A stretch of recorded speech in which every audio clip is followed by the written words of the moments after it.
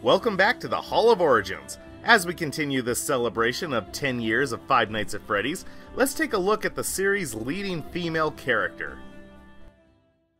Chica the Chicken, the backup singer of the Fazbear crew, mostly known for carrying around a cupcake as her stage prop and her insatiable appetite. But let's take a look at the origins of this iconic yellow bird. Back in the first Five Nights at Freddy's game, Chica could be seen as almost a duplicate of Bonnie. Just like how Bonnie stays on the left side of the building, Chica occupies the rooms on the right. But unlike Bonnie, she has a little bit extra added when she goes into the kitchen. The kitchen's camera is always disabled, so you can never see what's going on in there. However, through sound, we can hear that whenever Chica is in the kitchen, clanging sounds can be heard.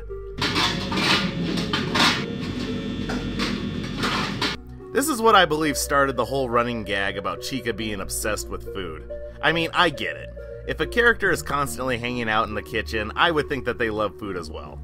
She's also slightly more aggressive than Bonnie. While Bonnie could be seen as the easy level character, Chica is more of a medium level threat.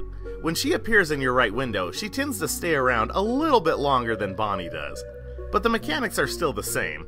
Just close the doors to keep her at bay. However, if she does make it to your office without you seeing her, gasping noises will be heard coming from her.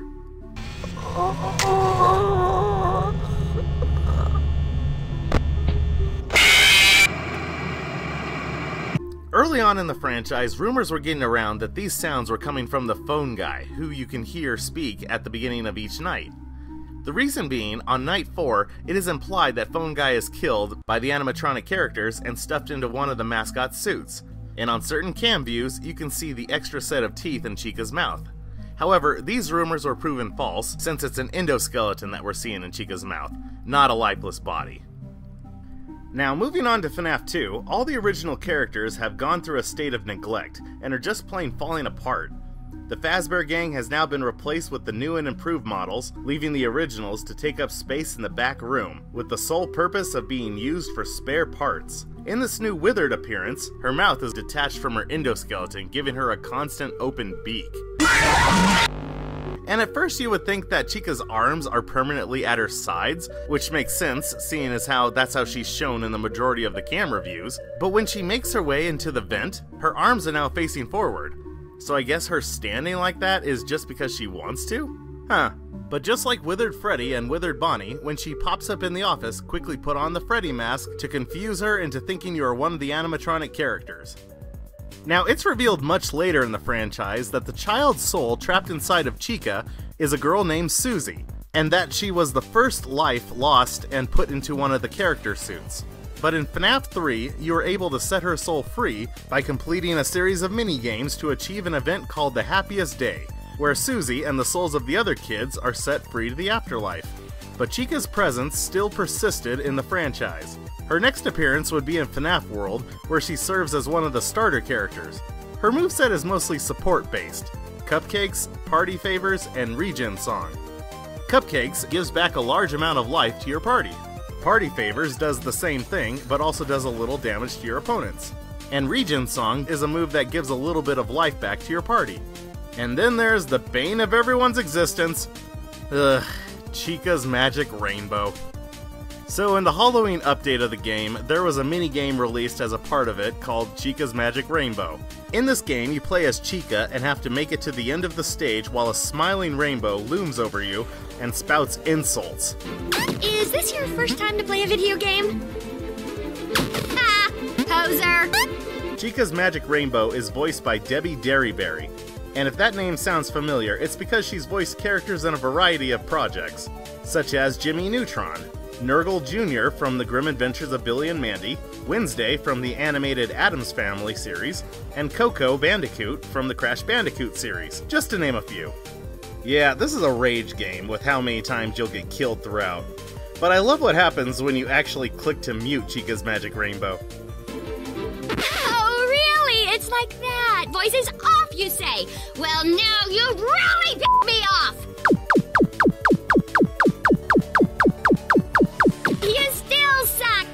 And you know what makes things worse? She comes back for the final battle. Surprise! Wow, I kinda went off on a tangent there, didn't I? Let's get back to Chica. So after FNAF World, Chica's next contribution would be in Pizzeria Simulator. Well, not her directly, but Susie, the girl inhabiting her suit. There's a mini game you can play called Fruity Maze, where a young girl travels around a maze collecting fruit. Every now and then you can catch a glimpse of Susie's reflection playing the arcade game. As you continue to the higher levels, the game starts to distort, and yellow rabbits start popping up as well as bleeding puppies. Yikes. Susie's reflection is now more noticeably distraught. You can also see William Afton in his rabbit suit over her left shoulder. When the game ends, he will try to lure Susie away by telling her that her dog is not dead, implying that the arcade game is mimicking a real life event. Jeez. Chica's next appearance would be in Ultimate Custom Night. Her mechanics are much different than they were in the original game. Keeping Chica from jump scaring you depends on the music box. She will stay in the kitchen making noises with pots and pans, but if she stops, that means she's bored of the music, and you have to change it to something else. If you don't do this in time, or change it when you're not supposed to, you get jump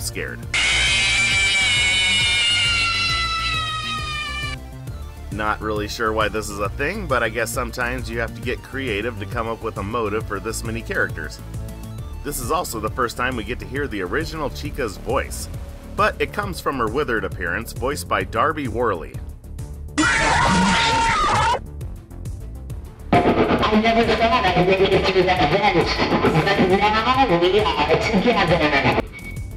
Now, going on to Help Wanted, it was amazing to finally see Chica move in real time, as well as playing the parts and services segment. In this minigame, Chica is a mess. No, like literally, she's a mess. She has pizza slices all over her that you have to remove, and she has a massive insect infestation. And the way to remedy this is that you have to use this spray to repel them. Of course, it's not as bad as the Nightmare version, where you have these gigantic creepy crawlers moving around in the background. Ugh, why, Chica? Why? And guess what? We almost had a voice for the original Chica, but it was cut. But it still exists on YouTube. Hey, I'm Chica, the lady of the group. My singing is a treat. So sweet, But keep an eye on your pizza. cause I'm a bird who likes to eat! Nom nom nom nom! Funny enough, that's exactly what I thought Chica's voice would sound like. Now, when Special Delivery came out, Chica was given three different skins Liberty Chica, Little Red Chica, and Scorching Chica. By the way, I just want to point out that Special Delivery was so creative with their skins. It's like, I wish the game didn't end and they would have just kept going on creating stuff like this. Now, in the lead up to Security Breach, a series of Hanna-Barbera style cartoons were created called Freddy and Friends on Tour. Chica in these cartoons is just one of the crew running from Foxy. But of course, they did fit in her love of eating, as she downs an entire sandwich at once. That's so Chica.